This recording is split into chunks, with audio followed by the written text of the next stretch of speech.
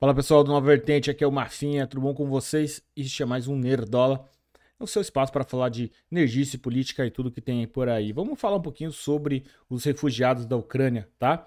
Eu achei essa matéria aqui num, num site chamado Donegal Live, que é um jornal de, um, de uma cidade, aparentemente um, é, na Irlanda, chamada Donegal, né? É, eu quero mostrar um negócio para vocês aqui que eu achei maravilhoso. Tá vendo essa família linda aqui? É, veja, veja bem o que está escrito aqui embaixo. Outro do primeiro grupo de refugiados que chegaram na Ucrânia. Todos estavam muito cansados, mas gratos por terem chegado ao seu destino. O conselheiro do condado, Michael McConan, que foi uma das primeiras pessoas a saudar a chegada, disse que era uma situação triste oferecer a mão da amizade em circunstâncias tão difíceis, mas ele estava feliz em a cidade estendeu a mão para ajudar os necessitados. Então, assim, a gente. Desculpa. A gente pode dizer que não tinha pessoas negras na Ucrânia? Claro que tinha, óbvio né? Obviamente tinha pessoas negras na Ucrânia e é claro que são refugiados também. Mas eu acho engraçado isso, né? Porque é, fica meio esquisito, né? Você falar de refugiados da Ucrânia e a gente encontrar algumas fotos de, de famílias negras. Nossa, Mafinha, mas aí é muito racismo. Eu não aguento esse racismo seu, Mafinha. Não, pelo amor de Deus, gente. Eu já cansei de falar para vocês que não é racismo. Eu sou um mulato, né? Eu sou 50% negão aqui no meu sangue e na minha pele. Mas a gente tem que falar o que a gente tá vendo. E o que, que eu estou vendo aqui? Né? Porque assim, a gente vive num mundo hoje é, onde as pessoas elas olham uma coisa e elas fingem que não estão vendo, né? É, depois falam que a gente é negacionista, né? Então, o que eu estou vendo nessa foto? Uma bela família, né, refugiada, né, que é, são refugiados ucranianos. Né? Mas assim, não são, né? uh, tá bom, né? É assim, é. Olha, eu não vou contar para vocês, gente. É complicado. Lembra que o pessoal tava falando que as pessoas negras e, e árabes e, e, latinas não estavam conseguindo sair da Ucrânia?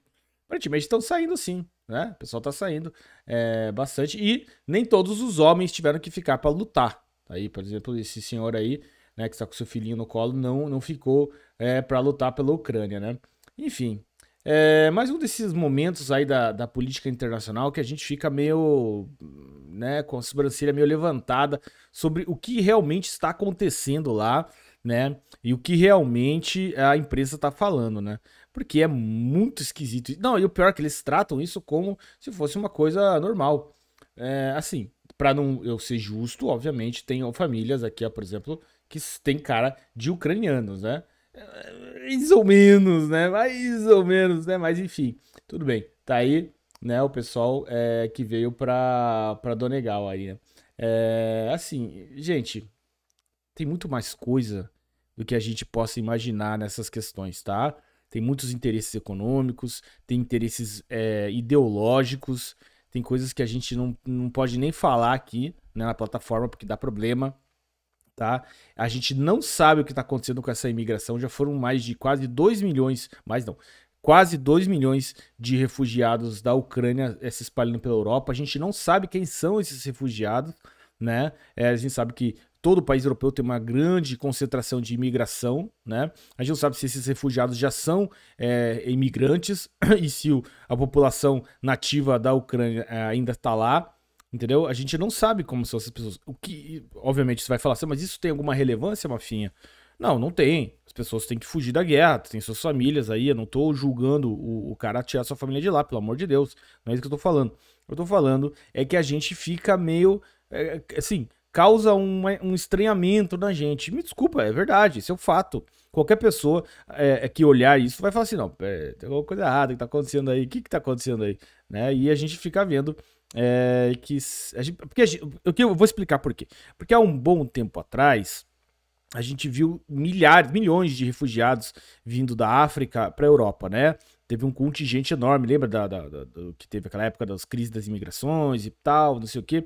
E é, esse contingente de africanos é, vindo para a Europa, é, a, as pessoas é, reclamavam, né? Porque muitos deles, a grande maioria eram homens jovens, né? O que é, é interessante isso, né? A quantidade de homens jovens vindo, né? Fugindo dos seus países e as suas mulheres ficando, suas crianças ficando. Isso era muito esquisito. Muita gente dizia que isso tinha aí um, um algo a ver com uma, é, um, uma guerra demográfica até, onde eles mandavam só os homens virem. Né? É claro que essas pessoas estão desesperadas. Claro, muitas delas eram realmente é, agentes, é, militares, alguma coisa nesse sentido. Mas a maioria eram pessoas fugindo de guerra, desesperadas, querendo uma vida melhor. Né? E a gente não pode é, é, é tirar isso da cabeça. Mas é claro que é interessante ver o quanto é, a gente não encontra homens ucranianos nativos como imigrantes nesses países. Né, que estão acolhendo a imigração é, é, ucraniana. Esses homens nativos ucranianos ficaram para lutar. Compensação, os imigrantes que já eram imigrantes na Ucrânia, eles foram embora, né? Então, assim, fica aí, né, o, o pensamento como você quiser, né? É, é, é obviamente, como eu sempre digo para vocês, não estou tendo nenhum tipo de preconceito nem nada. Eu estou apontando uma coisa que está na frente de vocês.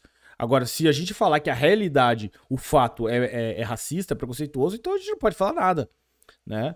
Se você não acha esquisito isso, grupo de refugiados ucranianos é, é uma família negra, cara, desculpa, mas alguma coisa tá errada, né? Enfim, é isso aí, né?